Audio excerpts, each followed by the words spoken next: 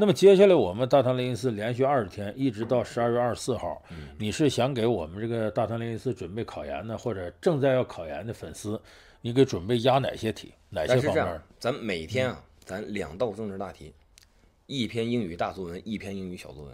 一篇英语大作文，一篇英语小作文，两道政治大啊，题。这是这样。如果二十天的话，如果二十天的话，就是每天一道，每天一道政治大题，嗯，一个英语大作文，一个英语小作文。就是说这二十天呢，等于给大家提供二十个英语大作文，二十个英语小作文，二十道政治大题，对是不是这个意思？，对嗯，然后你每天需要就是这这这上面花时间，可能也就花大概半个小时左右。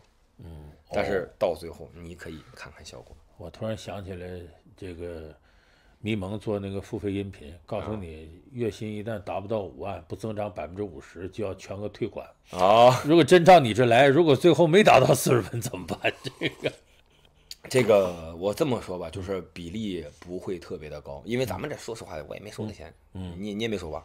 我没有，当然没有了。对对，我也我也 我也没收你钱。这个咱也没收钱，咱就也没有说说去给人一定的什么承诺，就是说这个东西就是说，反正你这一天啊，这半个小时，你可能也不一定干嘛去了，对吧？对。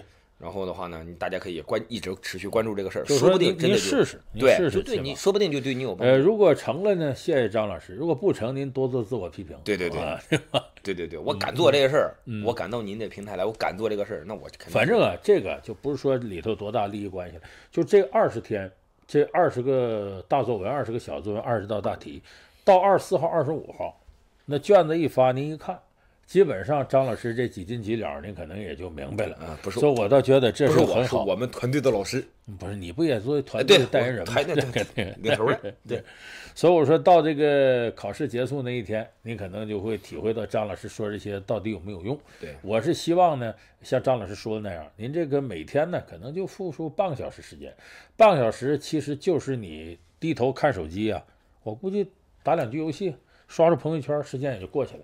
用到这上，咱说。